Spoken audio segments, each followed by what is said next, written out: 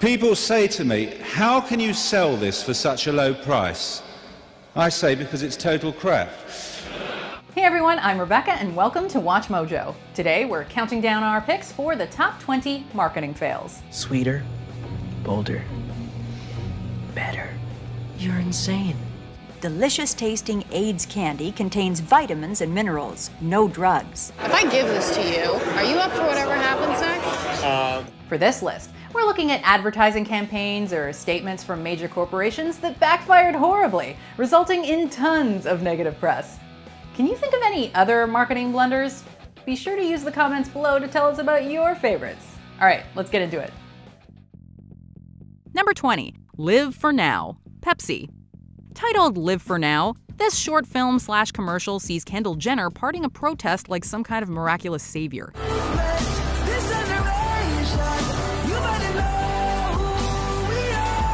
By giving a can of Pepsi to a police officer, she unites them all using the power of soft drinks.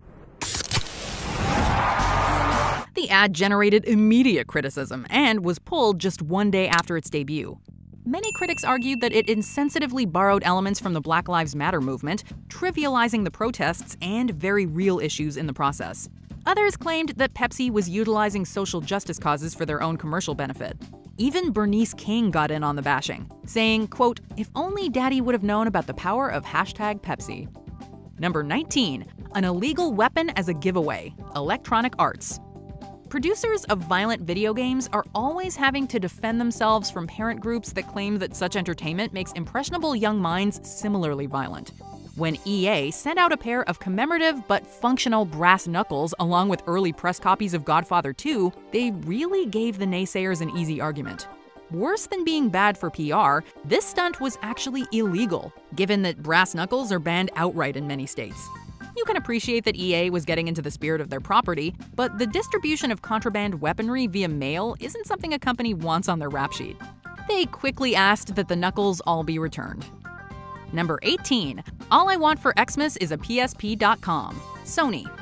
It can often be embarrassing when corporations try to relate to young people. In December of 2006, the website All I Want for Christmas is a PSP.com appeared.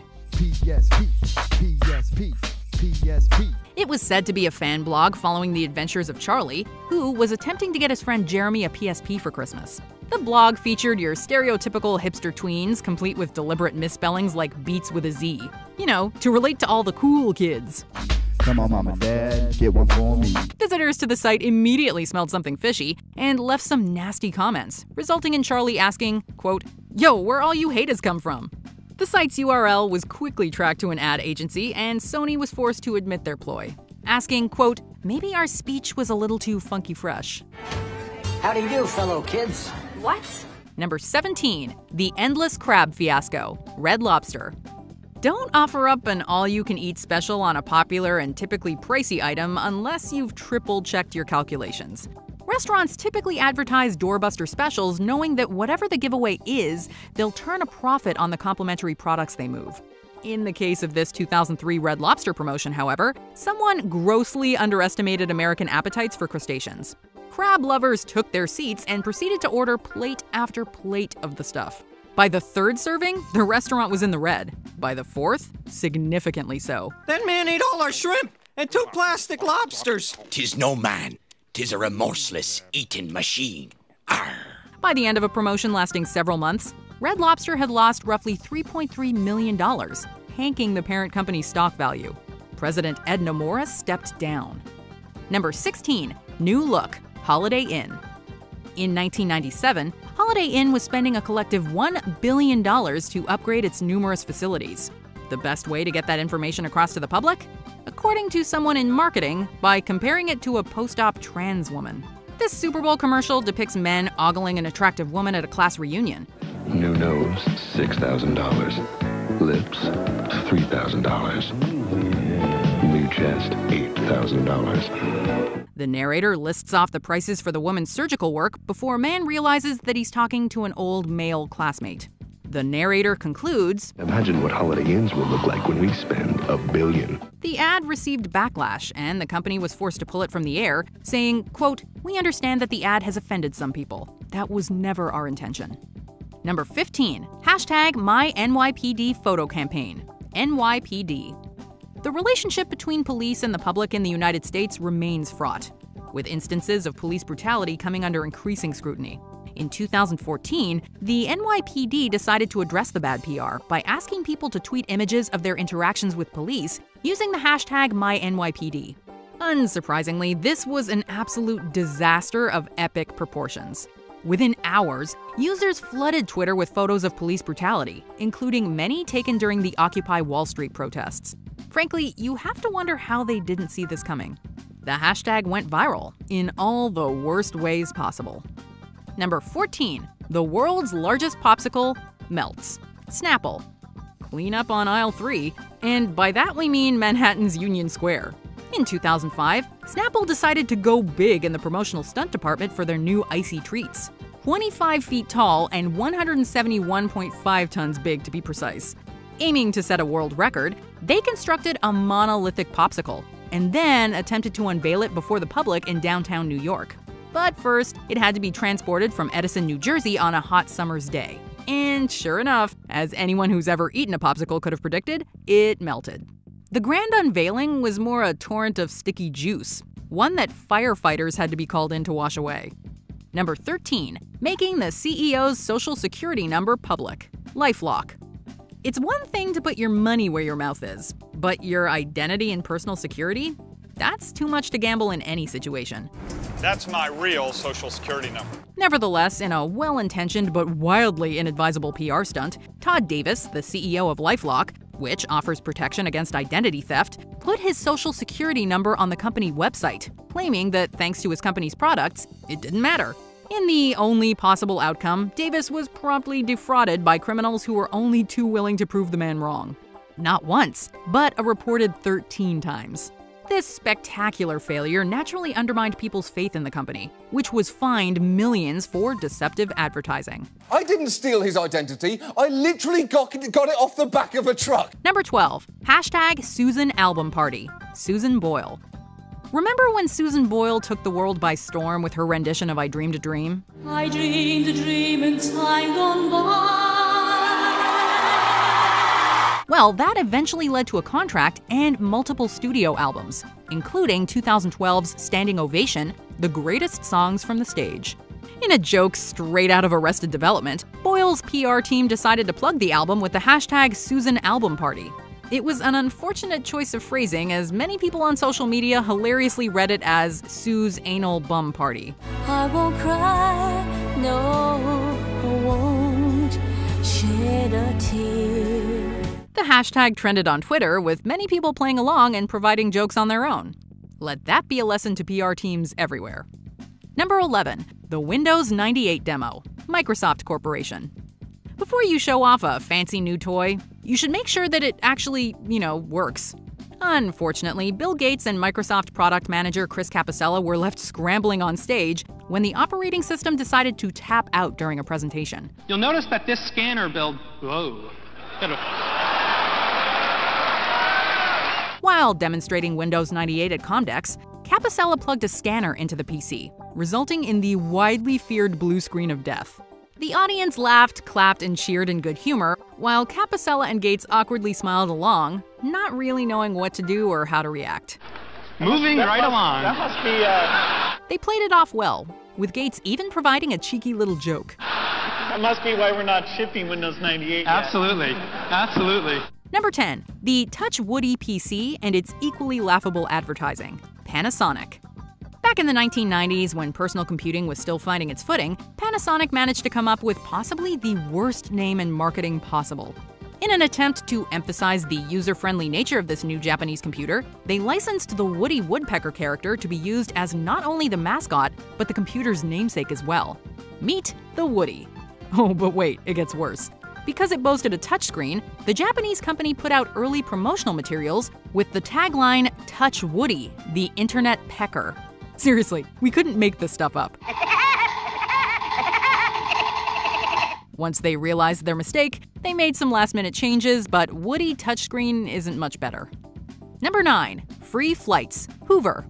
Though it's hard to fathom in hindsight, back in the early 90s, someone at Hoover thought it would be a good deal to offer free flights to British customers who bought 100 British pounds, somewhere around 175 US dollars in 1992 worth of their products. Two return flight seats. Unbelievable.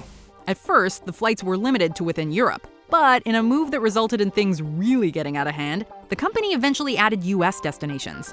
The money people had to spend was a fraction of a normal ticket price, and so people bought vacuums just for the trip. I was shocked that they would run a promotional activity where they were only asking a consumer to spend £100 to gain a reward of up to £600.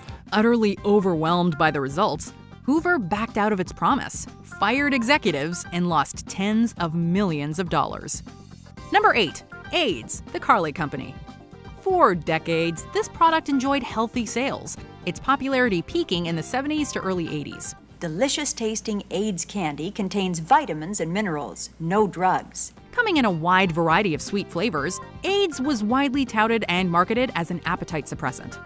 The manufacturer could not have predicted the AIDS epidemic of the 1980s, but the connections were immediately made. I've tried fad diets, powders, pills, still my weight's been up and down like a yo-yo until the Ayds plan taught me how to take off weight and help keep it off. It also didn't help the product's case that significant weight loss is a symptom of the disease. And it's really unfortunate that the company had actors and models claiming, quote, the Ayds diet plan really works. And I'm not gaining weight. I'm losing weight deliciously with the aid of Ayds. The Ayds diet plan really works. By the late 80s, sales of Ayds had dropped 50%, and the candy was eventually taken off the market. Number 7. KKK Wednesday Krispy Kreme Donuts Incorporated. Sometimes an idea is just so baffling and obviously problematic that it's a wonder no one caught it earlier.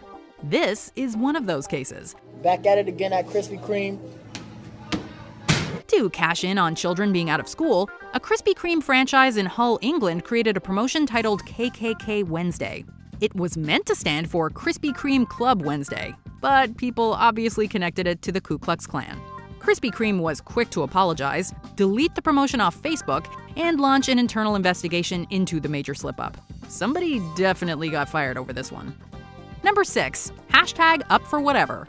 Budweiser. If I give this to you, are you up for whatever happens next? Uh, As part of their hashtag up for whatever campaign in 2015, Bud Light featured various slogans on their bottles. One, unfortunately, read, quote, the perfect beer for removing no from your vocabulary for the night. Hashtag up for whatever. The label went through at least five layers of approval before it landed on the bottle. According to Vice President of Bud Light, Alexander Lambrecht, it was meant to suggest a sense of adventure. However, many people thought it sounded like Bud Light was undermining the concept of consent and promoting sexual assault. In response, Lambrecht admitted that the message had missed the mark and vowed to cease production of that particular label. Number 5. Total Crap Ratner's Group. In 1991, Gerald Ratner was serving as chairman and CEO of Ratner's Group, a jewelry retailer. The company was incredibly popular in the late 80s and early 90s. That is, until 1991, when Ratner made a speech addressing the Institute of Directors. He called the company's cheap sherry decanter, quote, total crap, and criticized their gold earrings. People say to me, How can you sell this for such a low price? I say, Because it's total crap. While those in attendance laughed at Ratner's jokes, the company's value instantly deflated. Ratner's comments got him fired, nearly bankrupted the company, and forced them to change their name to Signet Group. Some people say, well, that's cheaper than a prawn sandwich from Marks and Spencer's. But I have to say, the sandwich will probably last longer than the earrings, but anyway. Today, the phrase doing a Ratner is still used whenever a corporate gaffe tarnishes a brand's reputation. Number 4. Anonymous Love Letters Fiat. When you're looking to buy a new car, you're expecting a simple and professional exchange. In the early 90s, however, Fiat broke with that time honored dynamic and decided to mail anonymous love letters to the demographic of women in Spain they were targeting with their new Cinquecento hatchbacks. These letters were personally addressed, bore no Fiat branding, and adopted the voice and perspective of the car. Characterized as an admirer, the car wrote stuff like, quote, We met again on the street yesterday, and I noticed how you glanced interestedly in my direction.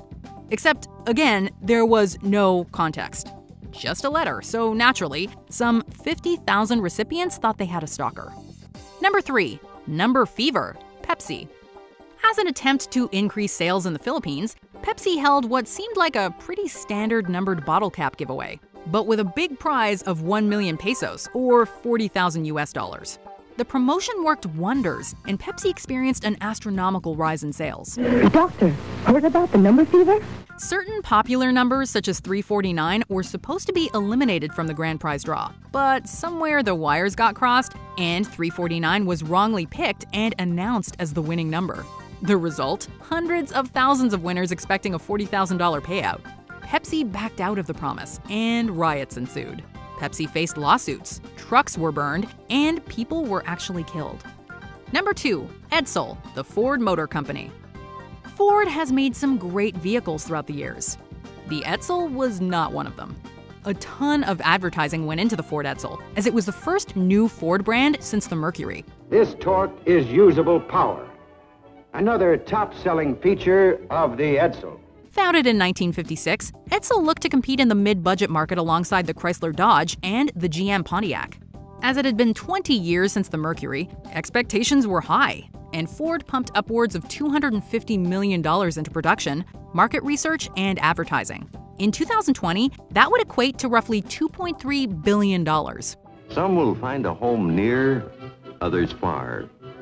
But in each, there is inbuilt freedom of movement.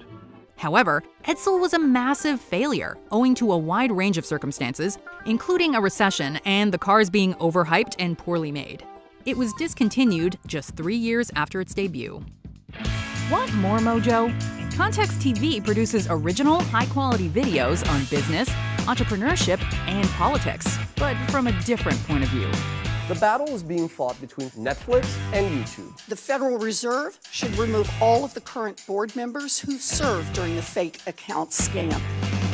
If you want exclusive interviews with industry leaders, in depth media analysis, and documentaries with a fresh take on the state of business, check out Context TV.